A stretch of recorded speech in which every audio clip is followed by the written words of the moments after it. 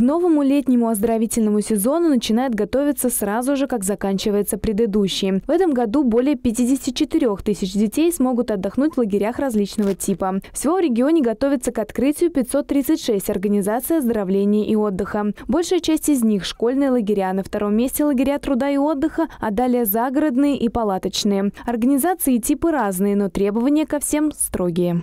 Подготовка летней оздоровительной кампании, она, конечно, многоплановая. Это не только подготовка базы объектов детского отдыха, да, которые должны соответствовать требованиям антитеррористической защищенности, пожарной безопасности, а, санитарным а, условиям, но это еще и подготовка кадров, во-первых, да, потому что а, подобрать кадры, подготовить их, это очень проблематично, это очень непросто.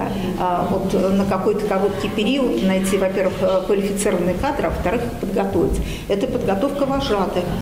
Особое внимание в подготовке уделяют безопасности. Чтобы детский отдых ничего не омрачило, сотрудники различных надзорных органов проверяют все. Воду, состояние территории, мебель, персонал и даже поставщиков продуктов. Все это тщательно изучается Роспотребнадзором. Детский отдых должен быть не только безопасным, но и интересным. Чтобы ребенок на каникулах всесторонне развивался, с лагерями сотрудничают библиотеки, музеи, детские спортивные школы и школы искусств. Также методисты организации оздоровления и отдыха разрабатывают тематические тематические смены придумывают мероприятия. В этом году в лагерях детям расскажут о годе семьи, освобождении Ленинграда от блокады и о поэте и прозаике Александре Пушкине.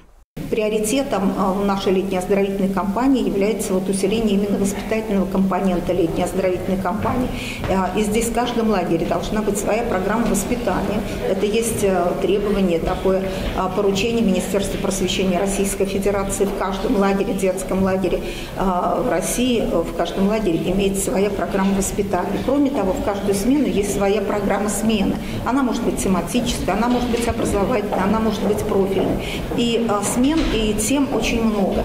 А в этом году у нас э, более 60 смен пройдет э, движение первых. В этом году в девяти лагерях пройдут инклюзивные смены для детей с ограниченными возможностями здоровья. А с 1 января 2025 года каждый лагерь должен будет оборудован всем необходимым для комфортного отдыха детей-инвалидов. Светлана Карпухина, Олег Тоньшин, Улправда ТВ.